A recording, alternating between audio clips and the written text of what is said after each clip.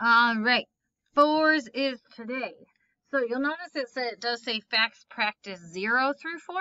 That's because the worksheet does have facts up through 4, but twos you should know, count by twos or your doubles. Anything times 0 is just 0 because if I have 5 groups of 0, well, I don't have anything.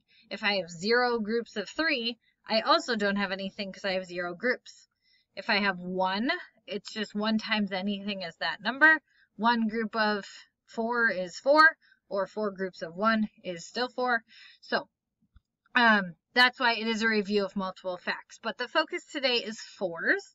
So make sure, um, or open up again to your page. Now maybe you squished three, six, and nine close together and you don't have the space in between. That is okay. You can always just add it off to the side and have them out of order. That's fine. Don't stress if yours doesn't lo uh, look like mine. This is a reference page to look back to, and writing it down can also help get it in your brain. So, Miss Bjorgan also taught me this song, so hopefully I don't mess it up.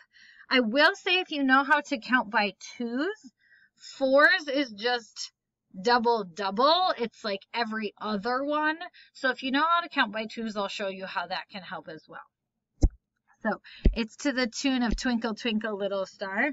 So we have 4, 8, 12, 16, 20, 24, 28, 32. 4 times 9 is 36. Then there's something about joining me in counting by the facts of 4 or something. I forget the last part. But Twinkle Twinkle Little Star. 4, 8, 12, 16, 20, 24, 28, 32. 9 times 4 is 36. And yes, I know the 40 isn't included in the song, but it's good to remember what um, 10 times 4 is. Learning that song is one way to help you remember. Or if you think about counting by twos, we have 2, 4, 6, 8, 10, 12, 14, 16, 18, 20, 22, 24, 26, 28, 30, 32.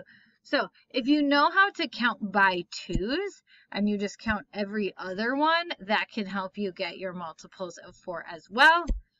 Or memorize the song or just memorize your facts. But either way, you should have a strategy that will help you figure out your multiples of four because when we get to harder multiplication, having those strategies will make the multiplication that much easier. Um, like I said, the assignment has a variety of facts, so go ahead and fill that in and practice those facts. Good luck!